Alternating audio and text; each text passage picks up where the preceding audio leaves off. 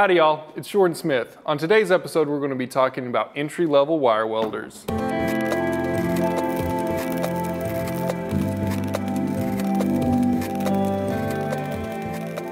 So you're interested in welding but you don't know where to start.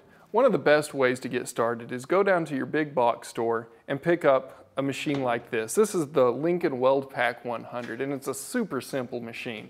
It runs off of 110 so you can plug it in anywhere the same store that you buy this from will sell this wire right here. We're running a Lincoln NR211MP. It's a self shielded flux core, so you don't need any gas, you don't need anything but the wire, the electricity coming out of the wall, and the machine. I'm going to show you a little bit more of how it works on this side while Luke comes in and starts welding. Even though this is a simple welder, it's still important to wear the proper PPE. Long sleeves keep you from getting arc burn. You have to have a welding helmet with the proper shade of lens and gloves is a good idea to keep your hands from getting burned. So as you can see in here, as he's welding, the wire is spooling off of the spool, going through the wire feeder, through his lead into the gun.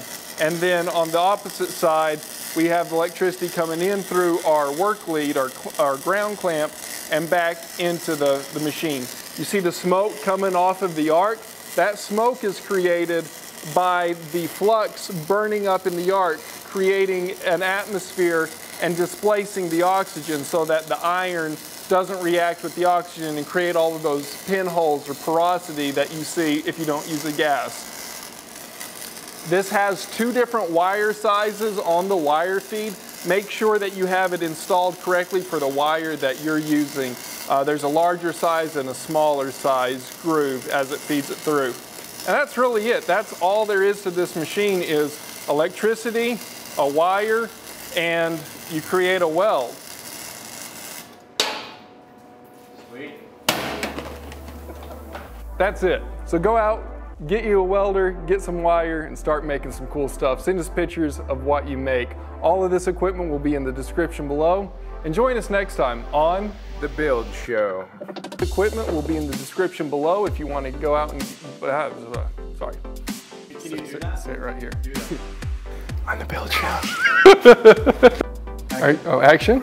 That's, I was waiting on that.